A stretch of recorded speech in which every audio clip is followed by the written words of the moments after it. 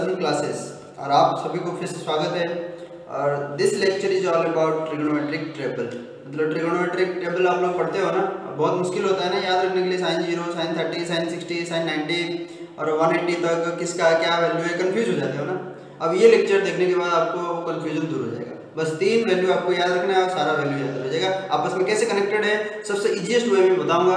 और देखते रहो एंड तक, पूरा समझ में आ जाएगा आप लोगों को पूरा ट्रिक ओके तो in this lecture we are going to see we are we will see है ना we will see uh, what are the tricks to remember trigonometric table देखो पहले बच्चों कि ये जो trigonometric table है इसमें कितने तरह के अलग अलग मेरे को बताओ कितने तरह के अलग अलग trigonometric ratios रहते हैं सात एक है sin cos tan cot sec cosec तो ये सात तो देख छह रहते हैं चलिए छह है ना sin cos tan छह रहते हैं। तो ये sin का जो रेसिप्रोकल है, cosec सेक का कॉस का रेसिप्रोकल है सेक और टैन का है कॉट तो ये रेसिप्रोकल है बेसिकली ये तीन है और उनके उल्टे हैं।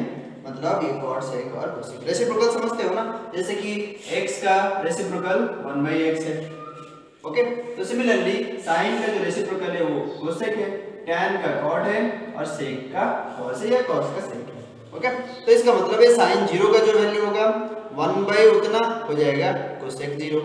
और tan ज़ीरो का जो वैल्यू होगा, cot ज़ीरो का वैल्यू कितना होगा? वन बाई उतना। बात है समझ में? तो इसलिए इसको बोलते हैं, आपस में वो रेसिप्रोकेट करते हैं। तो अब देखो, ये ट्रिग्नोमेट्रिक टेबल है। तो इधर मैं साइन कॉस ये छह फ़ंक्शन का नाम लिखा हूँ। तो इधर zero, thirty forty five sixty. देखो, zero, thirty forty five sixty, ninety, one twenty, one thirty five one fifty और वन एट्टी। तो इस तरह का सारा एंगल्स का वैल्यू में लिखा हूँ। आप लोगों को बस याद रखना है, यही यही जो चार वैल्यू है, इसको याद रखना है, उससे पूरा टेबल जनरेट हो जाएगा। कैसे हो जाएगा? देखो, सबसे पहले आप लोगों को देखो, ये साइन ज़ीरो ज़ीरो होता है sine thirty one by two sine forty five one upon root two और साइन सिक्सटी होता है रूट बाई टू इतना याद हो गया? फिर उसके बाद देखो आगे के कैसे पूरा चीज़ याद हो जाएगा। तो देखो ये साइन नाइनटी भी वन याद रखना पड़ेगा। अब देखो, यहाँ पे क्रिस क्रॉस होता है। तो साइन ज़ीरो जितना होता है ना कॉस नाइनटी उतना होता है। और साइन नाइनटी जितना होता है कॉस ज़ीरो उतना होता है। तो पहले टेबल बना दो, फिर उसके बाद क्या होना, ये साइन नाइनटी का वैल्यू कॉस ज़ीरो की जगह लिख दो। और इसका जो ज़ीरो है, उसके नाइनटी की जगह बताए समझ में? तो ये sine zero equal to cos ninety और साइन नाइनटी बराबर कॉस ज़ीरो। इतना याद हो गया आप लोगों को? और देखो, यहाँ पे ये सबके लिए मतलब ये sine cos tan cot sec cosec इसको पेयर के फॉर्म में मैं ले रहा हूँ। और 30 और 60 आपस में बराबर होंगे। जैसे कि साइन 30 ना कॉस 60 के साथ बराबर है। और साइन 60 कॉस 30 के साथ बराबर है। ये हमेशा याद रखना है। और 45 साइन कॉस दोनों का सेम है साइन कॉस एक जोड़ी है उनका। टैन कॉट इनका भी एक जोड़ी है। और सेक कोसेक इनका भी एक जोड़ी है। तो यहाँ पे तो साइन 30 जितना था कॉस 60 उतना होगा। मतलब दोनों प्लस करेंगे तो 90 होना ज़रूरी है, यही बात आपको याद रखना है। फिर साइन 60 जितना है ना कॉस 30 उतना होगा। क्योंकि 60 और 30 मिलकर कितना होगा? 90 ना तो इसलिए तो और 45 45 दोनों तो 90 हो जाएगा 45 प्लस 45 तो इसलिए दोनों का 45 का वैल्यू सेम है। तो यहाँ पे, अगर आपको साइन का इतना वैल्यू पता है तो इतना कॉस का इतना वैल्यू रीजनरेट कर सकते हो। तो ये एकदम आसान है ना क्योंकि ये आपको बस याद रखना है, साइन का जितना एंगल ले रहे हैं ना, उसके साथ कितना प्लस करेंगे तो 90 बनेगा। तो कॉस का उतना वैल्यू का मतलब जो रिज़ल्ट आएगा ना, वो भी सेम होगा, साइन उतने एंगल के साथ। जैसे कि साइन ज़ीरो ज़ीरो था तो ज़ीरो के साथ 90 बनाने के लिए 90 एंगल चाहिए तो कॉस 90 यही ज़ीरो के साथ बराबर साइन 30 30 के साथ कितना एंगल प्लस करेंगे तो 90 बनेगा 60 तो इसलिए कॉस 60 का जो वैल्यू होगा, वो साइन 30 के साथ बराबर तो सिमिलरली साइन 60 तो कॉस 30 के साथ बराबर होगा। और sine forty five cos forty five बराबर। तो ये हो गया हमारा फ़र्स्ट स्टेप आप लोगों को याद रखना है। सेकंड स्टेप क्या है? वही चीज़ को लागू करना है हर जगह। कैसे? देखो साइन कॉस आप लोगों को पता चल गया। तो टैन और कॉट और ये सब सब पता चल जाएगा कैसे? देखो, ये इतना ही पहले बता रहा हूँ, फिर उस तरफ़ मैं बाद में जाऊँगा। देखो मेरे को बताओ साइन डिवाइडेड बाय कॉस होता है क्या? Tan sine theta upon cos theta होता है ना टैन थीटा तो उसलिए टैन थीटा का जो वैल्यूज़ है ना उसको जनरेट करने के लिए आपको बस साइन और कॉस को डिवाइड करते जाओ और टैन का वैल्यूज़ मिलते जाएगा आपको। फिर कॉट का वैल्यूज़ के लिए क्या करना है? टैन का जो वैल्यू जाएगा ना, उसको रेसिप्रोकल करना, उसका उल्टा कर देना। तो फिर वो कॉट का वैल्यू जनरेट हो जाएगा। है समझ में? और सेक किसका रेसिप्रोकल होता है? कॉस का। तो कॉस का जो टेबल है ना, उसको रेसिप्रोकल कर दो। सेक का सारा वैल्यूज़ मिल जाएगा तुमको। और सिमिलरली कोसेक जनरेट करने के लिए साइन को रेसिप्रोकेट कर दो, है ना? साइन का जो वैल्यूज़ मिला है, उसका रेसिप्रोकल निकाल दो कोसेक मिल जाएगा। तो ये दूसरा स्टेप है आप लोगों को करना है। सबसे पहला स्टेप है चार वैल्यू को याद रखो। सेकंड स्टेप है क्रिस क्रॉस करके साइन के वैल्यूज़ से कॉस के वैल्यूज़ को जनरेट करो। थर्ड स्टेप है कि साइन कॉस के वैल्यूज़ से टैन कॉट सेक कोसेक सब का वैल्यूज़ को निकालो। ओके तो देखो तो पहले sine cos 0 upon 1 0 1 upon 2 divide by root 3 upon 2 2 2 cancel हो गया 1 अपन रूट 3 तो यहाँ पे दोनों सेम है तो 1 हो गया।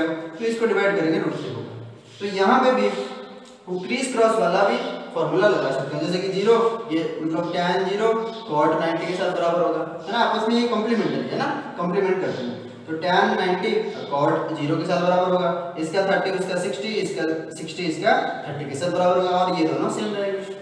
इसको अप्लाई कर सकते हो, ये वाला ट्रिक और दूसरा ट्रिक क्या है कि कॉट निकालने के लिए टैन का जो वैल्यू है, उसको उल्टा कर दो।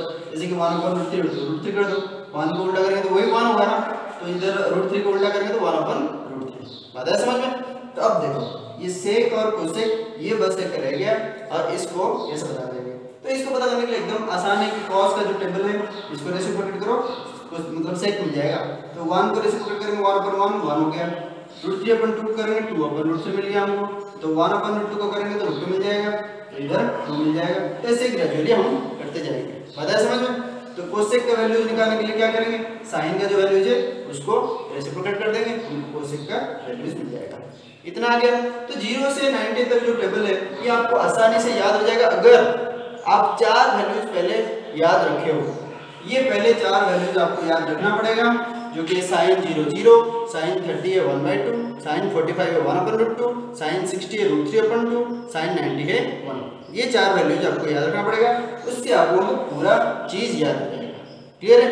जो चीज़ बताए उसको बार बार देखो, ध्यान से देखो, उसको नोट करो। और नोट करोगे तो ये इतना ज़ीरो से नाइन्टी तक जो साइन से लेके क्वेश्चन तक, सारा वैल्यूज़ आपको याद हो गया।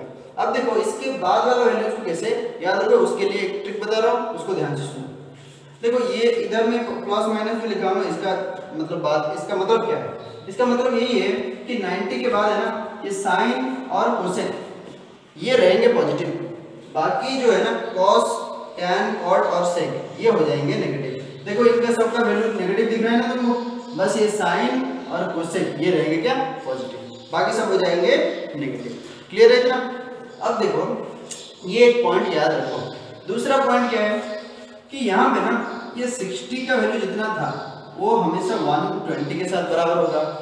ये 45 का वैल्यू जितना था 135 के साथ बराबर होगा।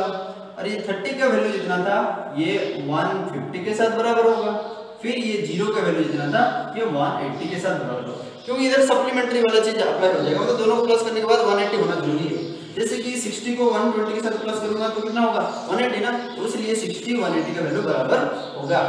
और 45 135 के साथ 30 150 के साथ 180 हो रहा है फिर ज़ीरो को 180 के साथ। तो इसलिए ये वैल्यू सब बराबर हो जाएगा। मतलब तो डायरेक्ट लिखना है। आपको इतना पता चल गया तो, तो बस लिख ही दोगे है ना। तो बस इसमें एक चीज़ याद रखना है कि जब साइन 60 जितना है साइन 120 तो उतना ही हो गया प्लस प्लस 45 45 प्लस प्लस एकदम सेम हो जाएगा। 30 और 150 एकदम सेम हो जाएगा। और कॉस के लिए जब लिखोगे तो माइनस साइन लगाना मत भूलना है ना? मतलब माइनस साइन लगाना ही पड़ेगा क्योंकि माइनस आता है। कॉस पॉजिटिव नहीं रहता है मतलब नाइन्टी के बाद। ओके तो ये क्यों नहीं रहता? ये भी आगे तुमको बताऊँगा, है ना? सक्सेसिव वीडियो लेक्चर्स में आप लोगों को बताऊँगा, इसका सबका कारण है ना? ये एक ट्रिक्स बता रहा हूँ, बस कैसे याद रखो। तो देखो कॉस वाला जो जब कॉस 60 जो था, cos 120 उतना ही होगा, मगर ये माइनस साइन के साथ। cos 45 और 35 ये भी माइनस साइन के साथ। तो माइनस साइन लगाना ही पड़ेगा आप लोगों को। बताए समझ में? तो आई होप कि आप लोगों को ये पूरा टेबल जनरेट करना आ गया। तो इसलिए आपको याद रखना ज़रूरी है, जितना भी स्टेप्स और पॉइंट्स ट्रिक्स जितना बताया, उसको लिख के रख दो और ये पूरा ट्रिग्नोमेट्रिक टेबल जैसे आप लोग ना भूलो, इसको बढ़िया से प्रैक्टिस करो। ओके अगर ये वीडियो अच्छा लगा और कुछ सीखने को मिला तो सबको बताओ चैनल को सब्सक्राइब करो और सबके साथ शेयर करो, है ना? और अंटिल मतलब see you next time until then you please be stay at home Stay healthy.